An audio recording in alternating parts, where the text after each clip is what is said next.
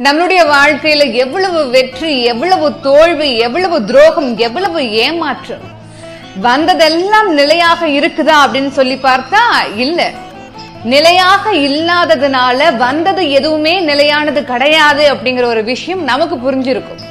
நம்மளுடைய வாழ்க்கையில வந்த உறவுகளான மனைவி அம்மா நண்பர்கள் பகைவர்கள் இப்படி வந்தவர்கள் எல்லாரும் நிலையாக நிலைத்து நின்றிருக்காங்களா அப்படின்னு சொல்லி பார்த்தா அவர்களும் இப்போ இல்லை. அப்போ எதுவுமே நிலையானது கிடையாது. இந்த உலகத்துல நம்ம வெறும் பார்வையாளர்கள் மட்டும்தான் அப்படிங்கிற ஒரு உண்மை உங்களுக்கு புரிஞ்சிருக்கணும். அந்த உண்மை புரியும் போது மனசுல ஒரு பெரிய ஒரு அமைதி ஏற்படும். அந்த அமைதியை தக்க வச்சுக்கோங்க.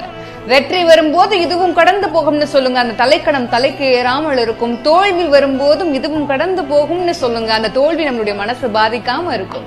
இதுவும் கடந்து போகட்டும். எத்தனையோ துன்பங்களை நாம நம்மளுடைய வாழ்க்கையில கடந்திருப்போம் இருந்தாலும் மனசுக்குள்ள ஒரு சின்ன பயம் ஒரு குழப்பம் எல்லாமே இருக்கும். இன்னும் நமக்கு இந்த வாழ்க்கை என்னென்னலாம் கொடுக்கறதுக்காக காத்துட்டு இருக்கோம் அப்படின்னு நமக்குள்ள நிறைய கேள்விகள் இருக்கும் உங்களுடைய தற்போதைய இந்த நிலைமை இருக்குல்ல இதற்கு பின்னாடி ஏதாவது ஒரு காரணம் நிச்சயமா இருக்கும்.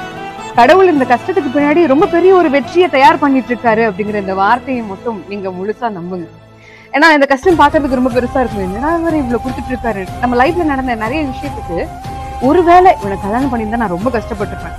ஒருவேளை இவனை நான் நம்பி இருந்தா பணத்துல ஏமாந்துருப்பேன். இப்படி நிறைய நடக்காம போன காரணங்களுக்கு பின்னாடி நிறைய காரணங்கள் இருக்கு.